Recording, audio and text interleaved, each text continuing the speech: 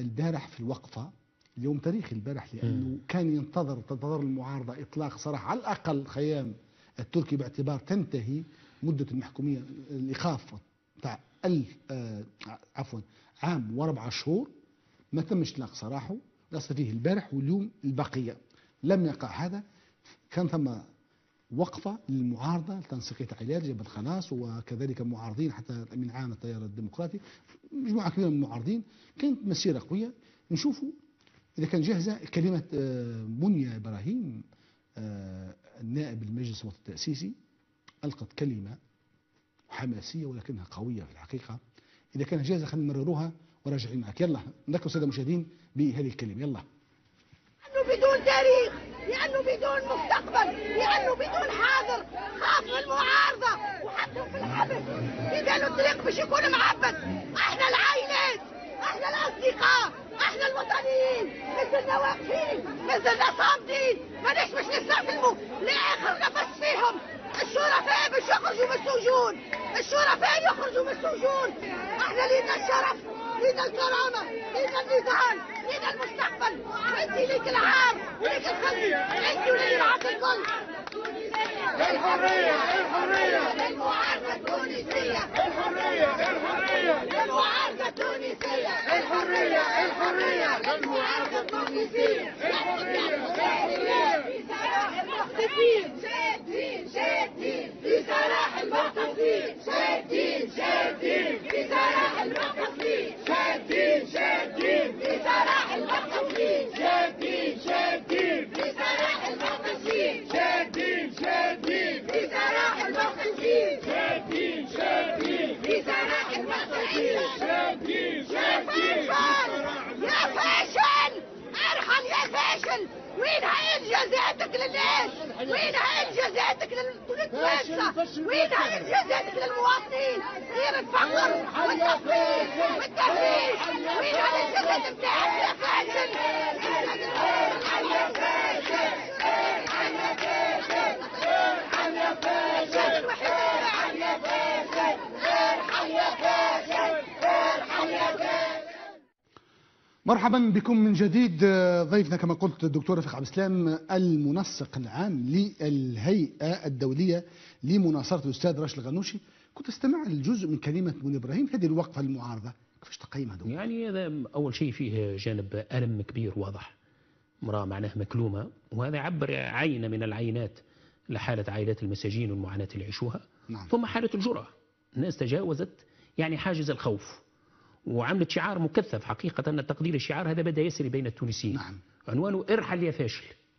هذا يلخص المشهد اليوم في تونس. يعني هذا ما عادش يعني عنوان ولا شعار ترفعه عائلات المساجين والناس الضحايا ولا السياسيين فقط الطبقة السياسية. نعم. هذا شعار صار يسري على ألسنة التونسيين والتونسيات. لأنه فعلا هذا الرجل عنوان الفشل والمظالم اللي نعيش فيها اليوم ما كناش نتصور حتى في طور الخيال أن تونس مش ترجع إلى هذا المستوى. نرجع مرحلة المساجين والسجون والمتابعات والعائلات المكلومة أمام المعتقلات واللي تهز القفة والأتعاب متاع الصغار والزوجة. يعني كأنك يا أبو زيد ما غزيت. ولكن التقدير هذه مرحلة عابرة. لا تمتلك مقومات الاستمرار طويلا لأن فعلا تونس في مرحلة العبث. تو الناس يتحدثوا مش ناس يتحدثوا. بالتصنيف يعني فما الأدب السريالي والأدب الخيالي نعم. والسينما الخيالية ولينا أمام القضاء الخيالي. لما تقرأ أنت حقيقة يعني قرار ختم البحث شيء يفوق الخيال يعني. يعني شيء مفتعل ومصطنع مرويات وأحداث وشخصيات وتركيب شيء على بعضه شاشيت هذا على رأس هذا. يعني حقيقة فضيحة لو كان يعرض هذا القرار ختم البحث على أي جهة قضائية مؤسسة قضائية دولية حقيقة تونس ستصبح يعني فضيحة. هذا وقع لا وقع في كوريا الشمالية ولا في زيمبابوي ولا في أي دولة من دول العالم زيمبابوي وقت موغابي نقصد. يعني حقيقة فضيحة بيتم معنى الكلمة. يعني أصبح القضاء يستخدم فعلا هو وظيفة للفتك بالخصوم السياسيين وتركيب الأحداث والحيثيات. المهم حاجتك به هذاك سوق السجن وركب له قضية من القضايا. هذا اللي حصل. بالرغم سيد سعيد كلم في مجلس الأمن القومي ربما نسمع من بعض منه. يقول احترمنا الإجراءات. كله وبالعكس يقول وقع التنطيط كله كذب وبلوط كله كذب وبلوط لا احترموا الإجراءات ولا احترموا الحيثيات ولا احترموا القواعد القانونية ولا بديهية القضاء ولا أي شيء. ناس مطيسين في السجون 14 شهر. يعني أنا شفت واحدة من الحيثيات. يعني عصام الشابي مدان علاش؟ لأنه يلتقي مع شو اسمه؟ يلتقي مع نجيب الشابي. نجيب الشابي اخوه شقيقه. يعني إذا يلتقي الشقيق مع شقيقه أصبحت تهمة. وقس على ذلك. يعني سيدة فاضلة أعرفها عن قرب. يعني متهمة إنها تمشي الحي هلال وما نعرفش الملاسين وحي التضامن حتى تؤلب المجرمين ضد السلطة. هي ما دخلت ممكن حتى حي حي هلال أصلا. فبحيث فما اختلاق للأحداث. يعني هذاك اللي جات لك جات لك. يبحث لك معناه في الحيثيات وأدوات الإدانة.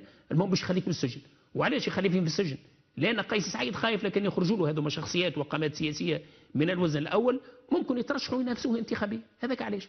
فكل واحد عامل له القالب نتاعو قيس سعيد. كل واحد يضبط له القالب نتاعه يعمل له قالب على المقاس باش يقسم الحياة السياسية.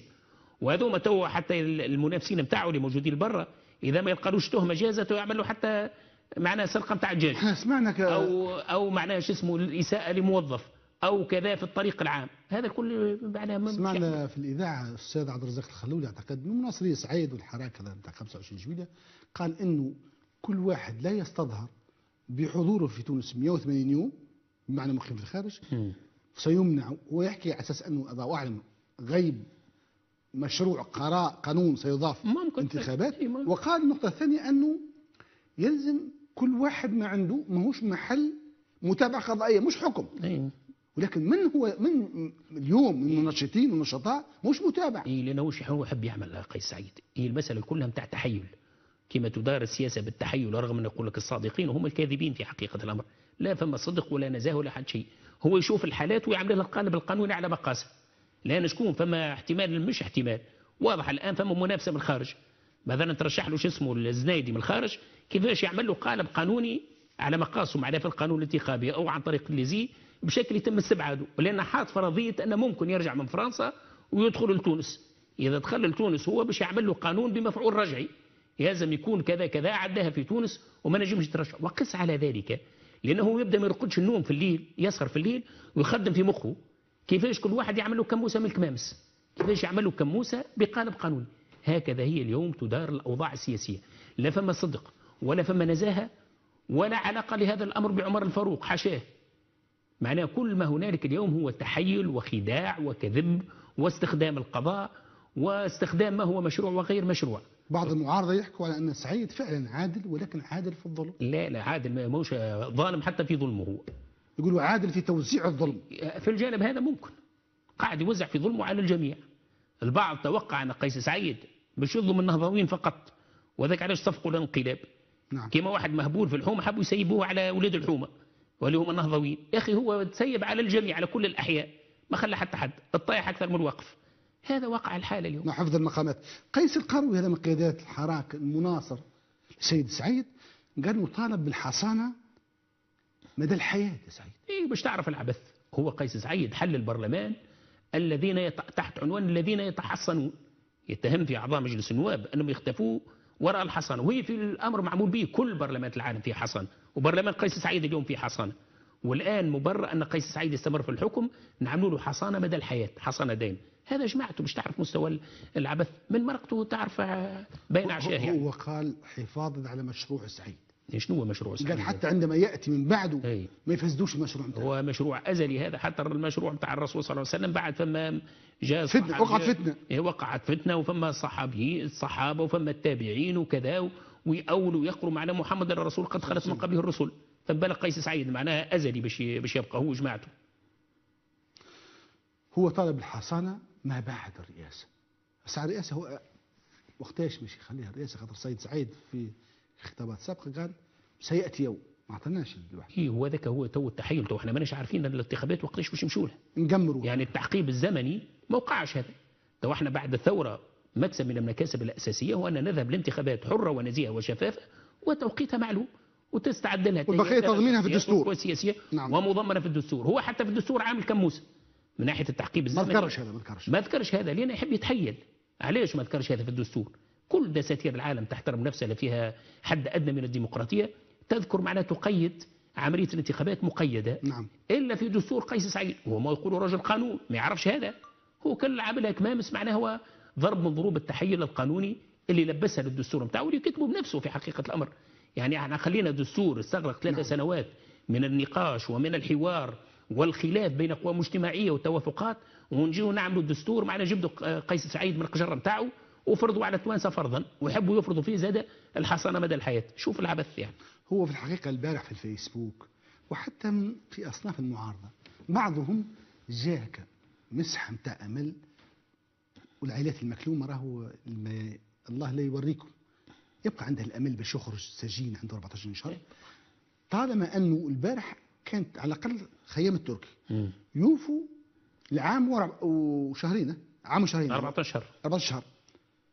خصوصا أن دائرة الاتهام أجلت الجلسة متاعها بدون إيداع. هو فما تحيل حتى في الإجراءات تلاعب بالإجراءات. وأنا شفت بعض المحامين المتطلعين نعم. فعلا يشكوا لهذا قرار ختم البحث اللي عمله القاضي أنا أتصور القاضي فعلا أمضى عليه إمضاء. هو واضح لما تشوف ما فيش حد أدنى لا من الانسجام لا من العقلانية لا من السلاسة لا في ربط بين الأحداث ولا بين الأشخاص. تجيب 52 شخصية ما فمش حتى ربط بينها إلا المؤامرة الموجودة في عقل قيس سعيد وبعض ما أعرفش أنا القضاة نتاعه ولا منصبهم. لكن أنا أشكك حتى القضاة يعملوا هذا أن قاضي التحقيق فعلا يمضي على مثل هذا يعني قرار ختم البحث. الأرجح أن يكون قرار شو اسمه؟ قرار ختم البحث يكتبوه البوليس ويمضي عليه قاضي لأن إحنا عبارة على نظام بوليسي الآن. يخضع القاضي ما هو كثير من القضاة يقول لك تبكي أمك خير ما تبكي أمي. يا أخي القاضي باش يجازف مهددين بالطرد. لأن أول الإجراءات اللي عملها قيس سعيد شنو هي؟ هي الحل المجلس الأعلى للقضاء وتنصيب مجلس محله وعزل 57 قاضي. لأنه شنو هو الغاية متاعه؟ الغاية أن يسيطر على الحياة السياسية من خلال استخدام القضاء استخدام القضاء ذراع سياسي للتنكيل بخصومه واستخدامه عصا معناها لإعادة تشكيل المشهد السياسي. وهذا ما يتم الآن. ثم ناس عندها أمل والنصف الآخر الشطر الآخر يقول لك العقل هل تتصور أن من أول على ذوقه ومزاجه فصل 80 وضع دبابة لم يحترم المؤسسات هل تتصور كان يحترم مجلة الإجراء الجزائية؟ عندوش معنى اللي هو اللي يدوس على الدستور. انت باش تشوف مستوى العبث.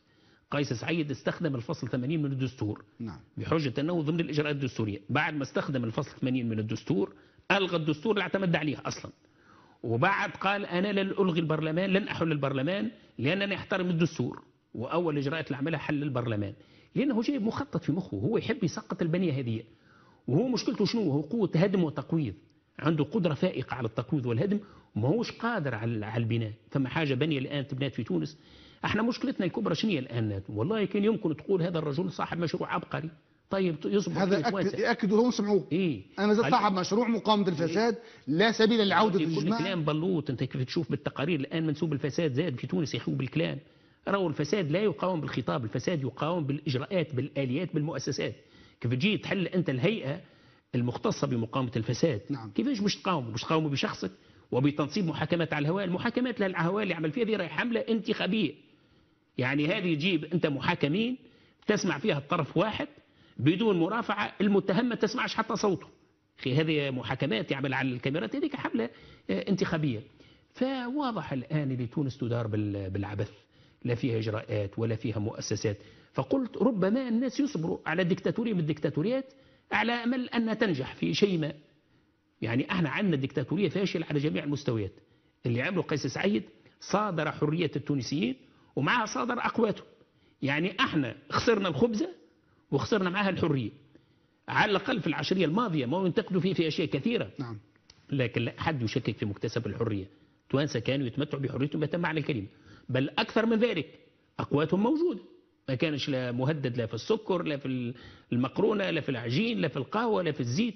الآن يشد الصف على السكر ويشد الصف على الزيت ويشد الصف على الخبز معنا فضلا على ارتفاع الأسعار ومستوى التضخم وتراجع القدرة الشرائية وغيره ففشل على جميع المستويات بحيث خسرنا الحرية ولم نربح التنمية.